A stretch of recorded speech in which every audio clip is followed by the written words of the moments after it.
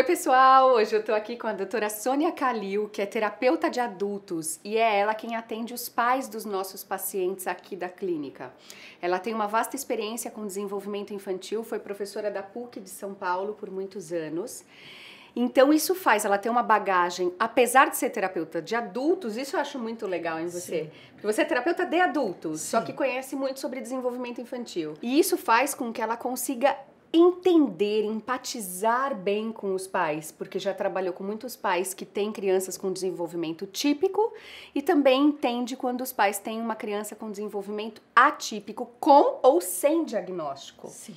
Conta um pouco pra gente de como é a angústia e esse processo de aceitação das famílias com relação ao autismo. É, geralmente eles não buscam a terapia para eles, adultos, logo que eles recebem o diagnóstico. É, isso é verdade. Começa eles a se focam... criar uma angústia, uhum. uma dificuldade de entender e de se entender neste processo.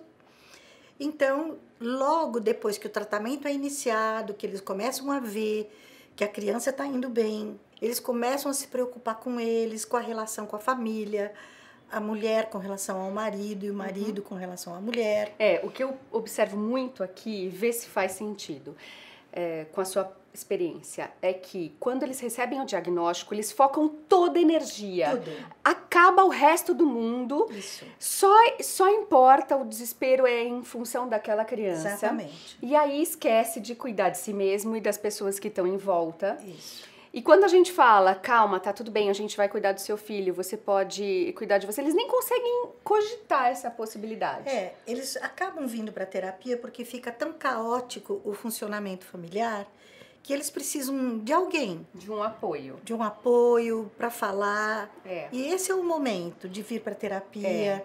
trabalhar as angústias, é. o luto pela expectativa que eles tinham a respeito daquela criança e que agora talvez tenha que ser transformado. Sim. Né? Então, é um espaço importante ou só para o pai ou só para a mãe. A gente está pensando, inclusive, em talvez fazer um grupo de pais para que mais do que uma pessoa possa estar junto e trocar com as mesmas experiências, é, com as né? mesmas né? experiências. Então essa é uma possibilidade é, que a gente vai pensar. Eu acho legal porque um entende o outro. E o que eu o que eu percebo muito é que uh, depois que passa, então eles juntam toda a energia que eles têm para fazer o tratamento da criança, para uh, entender o que está acontecendo.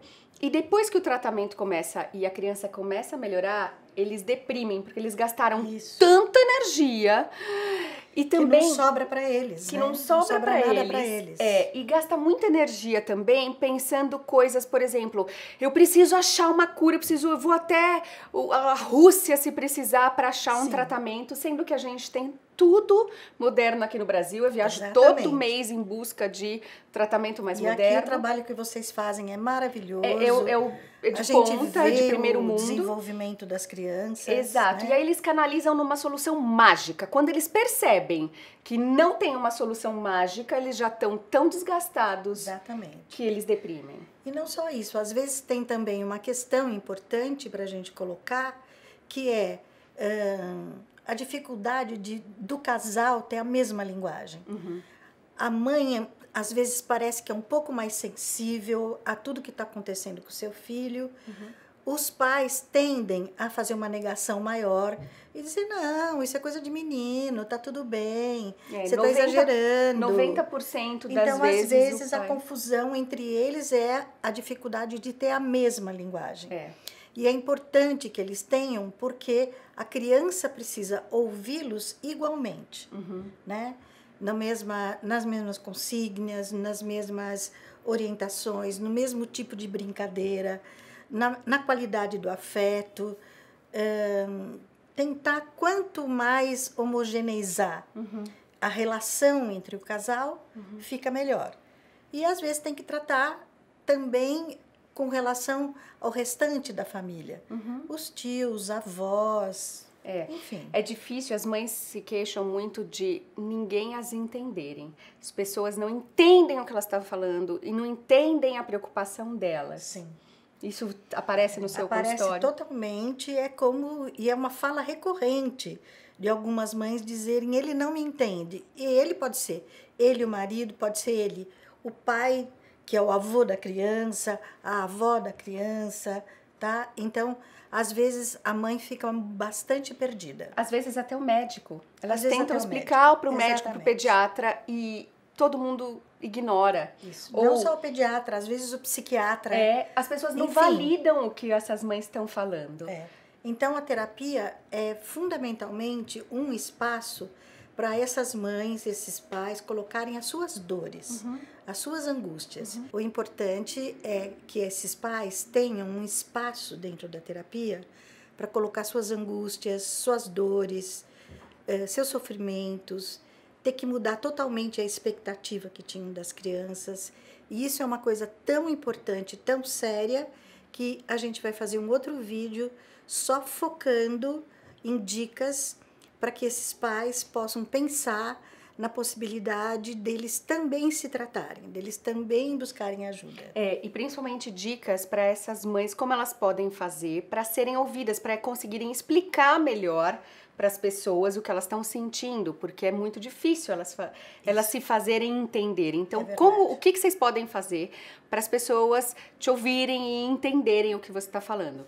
Mas na sessão de terapia tem técnicas para amenizar a dor desses pais? Olha, na verdade não existem técnicas específicas uhum. como existem as técnicas para tratar das crianças uhum. a nível comportamental. Ok. Porque o que os pais trazem não é comportamento. Técnica, técnica. Não é comportamento, é, é sentimento. É verdade. Né? Isso então é mais... a gente vai ter que trabalhar com esses sentimentos de frustração, o luto por aquela criança ter sido diagnosticada desta forma, uh, o medo das mães que gestaram esse bebê serem as causadoras do autismo. Até hoje, até, até hoje, hoje muitos profissionais de saúde ainda colocam a culpa na interação da mãe com o com bebê. o feto. É. é. Então, todas essas questões são passíveis de serem trabalhadas mas não existe uma técnica, uma técnica dizendo o seguinte: a gente vai fazer isso que você vai ter tal resultado. Entendo. É um espaço de abertura de consciência, de abertura de coração. Como é que a gente vai aprender a lidar com estas questões apesar das adversidades. E das outras questões que vieram decorrentes do autismo. Muitas vezes os pais se culpam por não terem começado antes o tratamento. Isso, exatamente. Temem como vai ser o futuro, como eles vão levar para os amigos, para a sociedade, para as amigas que têm filhos típicos. Sim. Tudo isso aparece. É, às vezes uh, a, a, a, mãe uh, tem até uma brincadeira que diz o seguinte, que hum. os pais são cegos. Hum. E é verdade existe uma cegueira nos pais. Hum, tá? Em que sentido? Em que sentido? Porque eles estão vendo que tem algo de estranho com seu filho, mas eles relevam. Eles fazem assim, ah, não, acho que não é nada, acho que é coisa da minha cabeça, né? Aí, às vezes, precisa vir um parente próximo, uma avó, um tio, a madrinha da criança, que diz, olha, você não está percebendo que parece que ele tem uma dificuldade assim, assado, tá, tá, tá? a mãe já viu mas precisa da outra pessoa para ela dizer a coisa é séria. Realmente. Eu preciso levar para um médico para saber o que está acontecendo. É, e às vezes até já levou, mas prefere acreditar que não é nada, Isso. que com o tempo vai passar, que vai ter uma solução mágica, que de repente a criança desperta, o que é o tempo dela, e isso não acontece. Então esse vídeo é importante não só para os pais, mas também para as pessoas que estão em dúvida em como se elas falam ou não, porque Sim. muita gente me escreve falando, eu percebo no meu sobrinho, eu percebo no filho da minha amiga sintomas e sinais, como que eu falo para ela? Tá certo. Então é muito importante que fale sim. sim. Eu não sabia dessa questão é, de, é de... uma questão é uma questão séria e Existe importante. mesmo isso Existe de uma cegueira. mesmo isso de uma cegueira, porque eu tô percebendo, mas eu não quero divulgar o que eu estou percebendo. Nem para mim mesma, Nem né? para mim mesmo, nem para o meu marido, nem para os avós. Eu vou ficar na minha só observando. É um mecanismo de defesa? É um mecanismo de defesa. Ah, entendo, Legal. Psicanálise. Muito bem. ok. Ótimo. Então, se você gostou desse vídeo, presta atenção no próximo, que vai ser só sobre dicas para as mães se fazerem entender. E fica com a gente, dá um joinha, compartilha uhum. para ajudar outros pais. Tem muitos pais precisando ouvir isso, precisando de ajuda. E eu acho que terapia para eles é importantíssimo, isso. até porque a criança vai se beneficiar diretamente Exatamente. disso, né? Isso. Um beijo então, pessoal. Tchau, gente. Tchau, tchau.